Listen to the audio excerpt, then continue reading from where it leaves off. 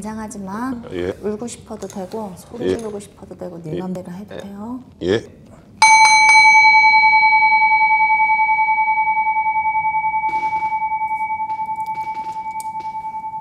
음, 우리 앞에 계신 대주님이라 그래요. 예. 이렇게 가정을 꾸린 남자분을. 예. 우리 대주님이 딱 들어왔을 때 지금 제가 미리 사주는 받아놓은 상태인데 문제가 좀 심각해 보여서. 어, 사주 기운 그리고 처음에 만났을 때 우리 대주님은 그늘이 많이 있어. 가정궁에. 가정에 그늘이 많이 있는 상태에서 저한테 오셨고 상문도 껴 있어요. 상문도 껴 있고 그리고 본인이 알든 모르든 간에 어, 기본적으로 다들 우한이 낄 만한 구성 요소 산탈도 있습니다.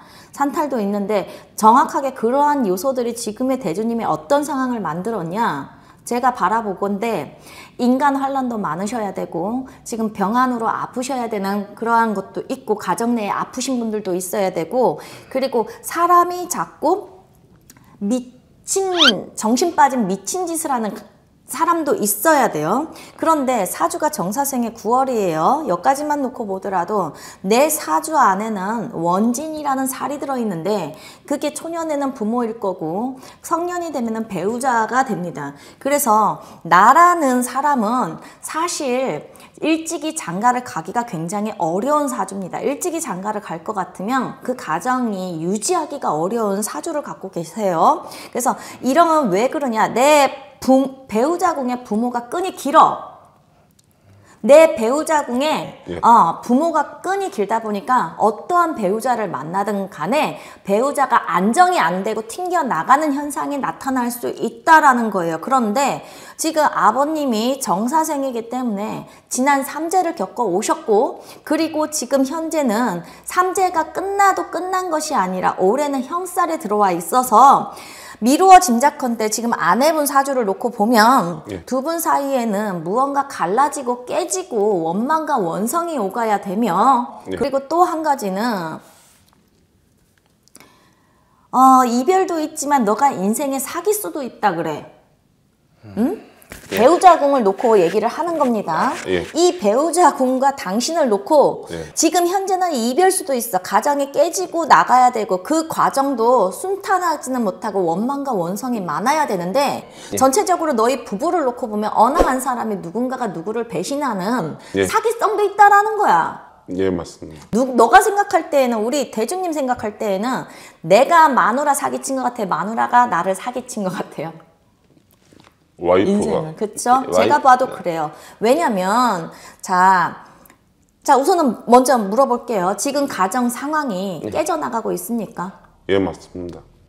이혼은 한 겁니까? 아니요, 지금 협의 이혼 신청 해 놓은 상태입니다. 협의 이혼 신청 판결은 아직 안 나왔고요. 예, 12월 6일 날 예, 가서 이제 마지막으로. 근데 이 문제가 어, 이렇게까지 불거진 거는 작년 수준이어야 돼요. 나는 삼재. 맞습니다. 어. 작년 4월 달입니다. 그렇죠. 작년 수전에 이게 불거지기 시작을 해서 음력으로 7월이 되면 작년 7월이 되면 이제 너는 둘 사이는 점점 멀어져요. 작년 7월이 되면 예. 사실상 이제는 부부라고 할 수가 없는 상황이 옵니다. 그런데 있잖아. 지금 아내분을 사주를 놓고 볼 것 같으면 정묘생이고 음력으로 섣달 18인데 이 사람이 음, 인간으로 보면 한 인간으로 보면 가지고 나온 힘은 네. 주둥이밖에 없습니다. 예, 맞습니다. 입밖에 없습니다. 그러니 이런 사람은 사기꾼이에요. 사기꾼. 당신 아내가 원래 예. 사기쳐서 먹고 살아야 되는 사람이야. 안 그러면 몸 팔아서 먹고 살든지 좀 과격하게 얘기를 합니다. 죄송합니다. 왜냐하면 얘가 가지고 있는 힘은 예. 지능, 지식 없습니다. 부모 처가 잘 살아 절대 그러지 못할 거예요. 예. 그리고 이 사람은 부모의 덕이 없기 때문에 한쪽 부모를 잃으라 했습니다. 그러니 처가 처가 없든지 아니면 장인이 없든지 어, 장모가 없든지 장인이 없든지 그렇지 않습니까? 지금 아버님만 계십니다. 음. 예. 아버님만 계시고 그래 그런데 이 지금 기주가 뭐가 있냐면 이 집안에 외가부리 외가 우리 기주의 외가부리에는 예. 신의 집안이에요 신의 집안 신을 모시는 집안이에요 신을 모시는 집안인데 이게 저희처럼 저- 이렇게 안정화돼 있고 이렇게 딱 그게 안 되고 산발적으로 퍼쳐 있어요. 예. 그러다 보니까 내가 처가를 두고 보면 얘 하나만 이렇게 활랑짓을 하고 다니는 것은 아닙니다. 얘만 그런 게 아니에요. 지금 장인어른은 또 비슷한 상황입니다. 예. 이 집안은 얘만 그런 게 아니에요. 우선 첫 번째 이 여자는요 제가 그랬죠. 가지고 있는 거는 입 밖에 안 갖고 나왔다고 기집이니까 예. 남자질 하는 거 그두 가지예요. 그걸로 얘는 먹고 사니까 내가 여자라는 것을 무기로 입으로 어떻게 그렇게 사기쳐서 먹고 살 수밖에 없는 상황이라 제가 볼 때도 두 분 어떻게 선봐서 만난 걸로 보이지 않고요. 예. 그리고 뭐뭐 사내에서 이렇게 교류해서 연애해서 만난 것도 아니야. 예. 내가 말하는 것은 하루 아침에 오다 가다 만났지. 예, 맞습니다. 그런데 있잖아, 우리 아빠가 연애를 똑바로 못 해봤어. 그동안에. 예, 맞습니다. 결혼하기 전에. 왜냐면, 아까도 말씀드렸지만, 내 사주에 이성궁에, 배우자궁에 누가 들어와 있냐면 부모가 들어와 있기 때문에, 한편으로 네가 마마보이야. 음, 예. 효자야, 좋게 말하면 효자일지 모르지만, 네가 마마보이야. 어? 나이 서른이 되건 마흔이 되건 부모 쓰라를 떠나지를 못해. 예, 맞습니다. 그러다 보니 내 가정을 사실상은 내가 46, 7에 일구라 했는데 너무 일찍 일구신 편이에요. 음. 그래서 지금 이 김, 이 김씨 기주하고 예. 이렇게 지금 애기 엄마하고 살아가는 동안에, 예. 어, 분명히 우리 시댁 어른들이 이랬으면 저랬으면 하는 얘기에 영향이 많이 들어왔어요. 가정궁에. 예, 맞습니다. 참견이 많이 들어왔어요. 예. 응. 그런데 우리 이 김식이주는 너를 봉으로 생각했던 거야. 처음 만날 때부터.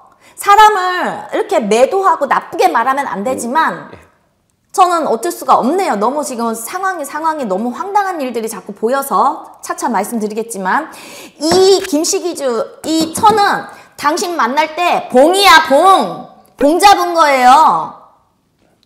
왜냐면 우리 아빠가 먹고 사는 거는 좀 괜찮았거든. 예, 집안에 돈은 좀 있어 버리고 네가 외동 아닌 외동일 거야. 맞습니다. 그거 보고 들어왔어. 그런데 너만 어떻게 살면 될 줄 알았는데 자꾸 이건 시엄마 시아빠가 자꾸 간섭하고 나를 귀찮게 하거든. 지 타고난 기질이 어디 가겠니? 안 그래도 저 두 번째 그랬을 때 친구들에 의해서 저도 알게 됐는데 더 도움이 했다 하더라고요. 그래. 예, 얘가 그랬잖아. 사기 이 기집이라는 걸 가지고 남자 후리면서 먹고 사는 애라고. 예, 직업이 딱 그거밖에 안 돼. 그런데 이랬던 아이가 우리 기주랑 살아가면서 음, 같이 얼마를 살겠어. 오늘 하루 잘 넘겨도 내일이면 은 이혼 소지가 나올 거고 내일 하루 잘 넘겨도 모레면 은 이혼 소지가 나올 판이야. 너네가 헤어지고 각자의 삶을 가는 건 오늘이냐 내일이냐 시간 문제지. 다시 잘해본다? 근본적으로 이 여자, 기주 자체가 예. 평탄하고 평범한 사고 방식이 안 돼. 팔자가 사나워서 과거지사 그렇게 살았을지 모르겠지만, 얘 머릿속에서부터 유전인자, 모든 피, 뭐, 모든 것이 보고 잘하고 배우고 예, 다넌 등치고 사기치는 것밖에 얘는 몰라. 둘 사이에 자녀는 있어요. 예, 아들 하나. 예, 음. 아들 하나 있는데, 자, 결론적으로 본인은 아들 하나예요. 예, 근데 얘는 있잖아. 예. 자식이 열두 될 수 있다? 지금 현재 어, 친구들한테 듣는 것만 애기 입양 보낸 거 두 명 있는 걸 알고 있고 지금까지 내일 그거 출산하면 총 네 명인 거 같아요. 예. 그걸 처음에는 몰랐는데 친구들 때문에 그렇게 그 안에 친구들이 얘기 다 해주더라고. 그러니까 결혼하기 전까지는 이 여자가 어떤 여잔지도 모르고 결혼하셨던 거야. 그 예. 과거 지사를 전혀 몰랐어. 예, 그걸 알았으면 처음부터 시작도 안 했는데. 우리 대주가 사기당한 거 맞네. 인생 사기 맞네. 그런데 나는 지금 소름 끼치는 게 뭐냐면 왜 내가 말하는 게 하나도 안, 안 틀리냐? 어? 내가 그랬지 너한테 네. 가정궁을 놓고 자식이 하나? 그래 너는 하나일 수 있겠지만 이 기주 이 여자는 애를 열두나 이미 이미 자식이 하나가 아니야. 근데 이미 사실 확인한 것만 입양 보낸 것만 둘에다가 뭐 뭐에다가 현재 내일 모레 낳을 자식까지 하면 넷이라고 예, 제가 알고 있는 것은 거기까지입니다. 아이고야. 나한테 왜 온 거야? 살고 싶어? 설마? 예, 살고 싶어 샀어요. 엄마야가, 어머니까. 정말 이 여자 데리고 살고 싶어? 그냥 음, 반반인데 근데 저는 뭐 이미 저도 지금 마음은 아내한테 가 있는 상태는 아니고 애 때문이겠지. 예, 애가 아플 걸? 예 지금 아이가 지금 지적 장애락 하는 지금 그걸 받아서 지금 병원에서 양불치를 하고 있습니다. 지금.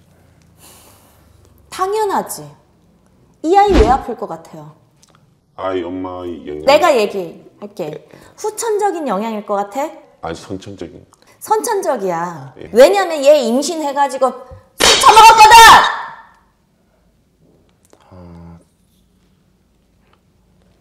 저는 술 먹은 거는 기억이 안, 뭐, 예, 뭐 저한테는 제가 본 적이 없으니까 얘가 임신하는 그 중간에 지 몸 관리를 똑바로 못했단 얘기야.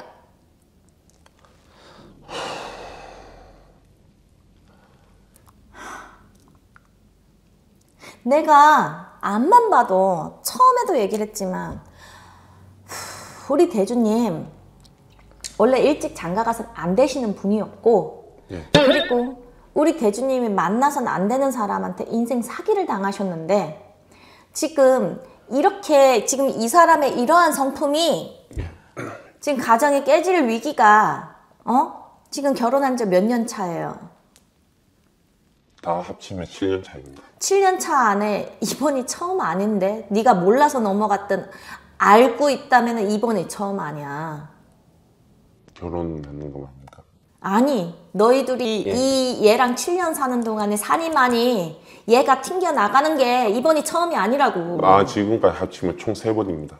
7년 동안 총 세 번 예, 세번 졌습니다. 한 번 나갈 때마다 뭐 하- 길면 두 달 아니면 한 달. 이- 이번에는 거의 한 1년 5개월 정도 정도 됐습니다.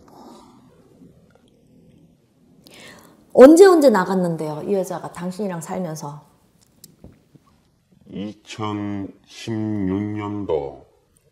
이, 잠깐만. 예, 거진 6년 전 7... 그러면 뭐야 살기 시작하고 얼마 안 돼서? 아이 출산하고 출산하고 아이한테 신생아한테 신생아한테 폭력 쓰는 걸 제가 보고 그걸 보고 제가 하지 말라고 제가 그렇게 얘기했는데 나중에 돼서는 어른들까지 그걸 보고 난 다음에 저하고 좀 그거 갖고 좀 그런 게 있었고. 아이 신생아 때 안 산다고 집 나가고 또? 애기 돌 되기 한 달 전에 한 두 달 전에 나가서 제가 그 다음 달에 제가 찾아가서 찾아서 광주에서 데리고 오고 지금 현재 이 여자 집 밖에 혼자 있는 거 아니잖아요. 애도 배 있다며. 예 있고 지금 상간남 아이 둘도 키우고 있는 걸 있다고 하더라고. 내비 두면 안 돼? 걔 거기서 개고생하라고? 왜냐면은 그 상간남의 경제적인 능력이 없습니다. 그리고 알아요 몰라요? 알고 있습니다 지금은. 그리고 또 한 가지는 그 상간남 지랄 맞습니다. 폭력 쓸 거예요. 알아요 몰라요? 폭력 쓰는 것까지는 저는 정확히는 잘 모릅니다. 그러면 그 상간남 만나봤어요? 아니 그 남자는 저는 만나고 싶은데 그 남자는 저하고 뭐 마주치려고도 안, 안 했고 처음에 집 나갔을 때도 그 남자 전화 번호를 알아갖고 제가 문자를 했는데도 전화 온 것도 없었고 아무것도 없었고 그 상간남 여동생이 저한테 전화를 해가지고 우리 오빠는 이런 사- 사람이다. 근데 또 그 어머니가 그 상- 어떤 사람이라고?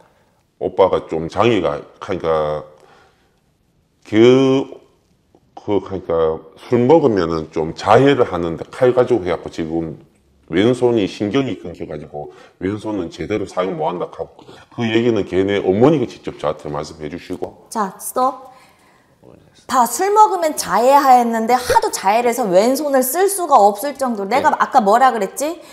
얘가 밖에 나가서 지금 옆에 있는 애된 그 남자는 네. 생활고도 평, 뭐 형편 없을 것이며 예. 그리고 두 번째는 폭력성도 있다 했어. 자해를 하는데 그게 폭력성이 없겠어? 지만 할 것 같아? 예 근데 내가 왜 하냐면 얘는요 너한테 오고 싶어 할걸? 예, 맞습니다. 안 그래도 그거 가지고 저한테 요즘 와서 자꾸 이렇게 연락은 하는데 그 또 애기 준모가 그 저희 아들이 또 통화하고 있고 하니까 좀 마음 야 이 빙신아 넌 뇌가 폼이냐 폼이야? 예, 알고 알겠습니다. 얘가 애 때문에 들여놓을 년이야? 봐봐. 집 뻔찔라면 집 밖에 나가가지고 딴서방하고 놀아나고 이번에는 애까지 배워왔어. 예. 어? 내일 모레 애 난다고? 그런 인연이 애 배워놨는데 너네 새끼 데리고 안고 오겠다는 거야 뭐야? 주고 오겠다고? 어? 야 너 너 생각이 있는 애야 없는 애야? 넌 배알도 없고 쓸개도 없냐? 야, 아무리 그래도 너희 부모님이 너 기를 때 뭐 어떻게 뭐, 음, 뭐 폭력 썼어? 아니면은 뭐 자갈밭에 굴렀냐? 곱게 기르셨잖아. 예, 맞습니다. 어? 세상 소중하게 기르셨던 너희 부모님한테 네가 지금 어? 효도는 못할 망정 이딴 년 데리고 어? 허구한 날 이거를 번복하면서 어? 나간 년 끌고 들어오고 애배면은 떼고 들어오고 나와갖고 저기 뭐야 딴 집 주고 그 지랄 하면서도 얘랑 살아야 하는 이유가 네가 빙신 아니고서는 지정신이야? 어? 너희 어머님이 어? 모르, 모르고 돌아가시든 알고 돌아가시 아직 살아생전에 계시지? 예, 예. 어 부모궁이 기니까 너희 부모님이 이거를 세세하게 다 아냐 모르냐 세세하게 다 모르십니다. 다 모르지 귀신 되면 다 알아 예, 알겠습니다.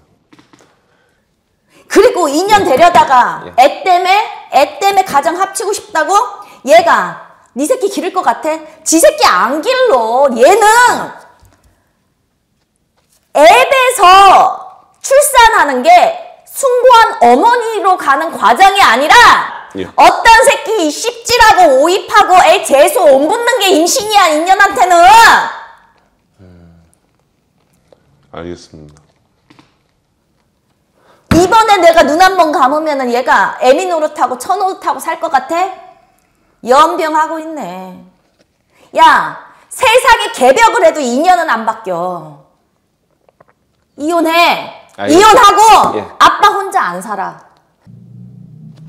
그래도 그래도 이제 너희 집안을 이렇게 둘러보면 신을 받들던 집안인 건 아시지? 예. 내가 양불이 다 신이 있지만 특히나 나의 친가 쪽으로도 이 칠성신앙, 성주신앙을 받드시면서 시주단지를 모셨던 분인데 우리 어머니께서 시어머니까지는 그게 있으셨는데 우리 어머니께서 그거를 엎어놨단 말이야. 더 이상 자손들이 그로 인해서 빌미의 말씨로다가도 힘드는 게 싫어서 아예 모르고 살았으면 좋겠어. 자기 선에서 엎어놓다 보니까 우리 대주가 살아가는 게 인간의 환란이 많고 내가 똑바른 직업이나 안정적으로 사회에 나와서 뿌리를 내리기가 어려워진 상황이 됐어. 그러니까 이런 빙신 같은 년한테 인생 사기까지 당하고. 음. 예. 그래도 지금은 올해는 형살이 들어와서 나한테는 차라리 잘 됐을지 몰라. 인생 예. 음, 사기를 정리를 하고 그러고 내년 후년으로 접어들면 다시 내가 가택 신앙 우리 집에 끊어졌던 엎어졌던 칠성줄을 잠재우면서 예. 우리 대주가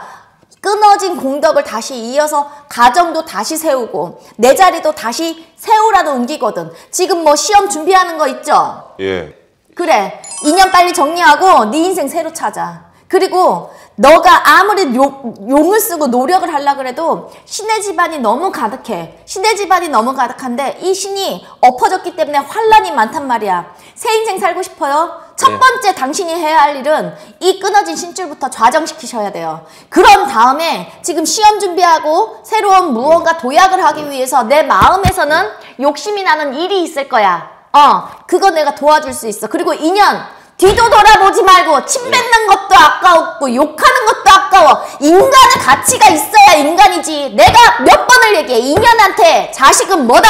오입하다가 그날 밤에 재수 없어 생긴 거야. 그런 년한테 무슨 애를 빌미로 가정을 꾸려. 정신 빠진 소리 하고 있네. 정신 차려 아빠. 알겠습니다. 알았지? 예, 알겠습니다.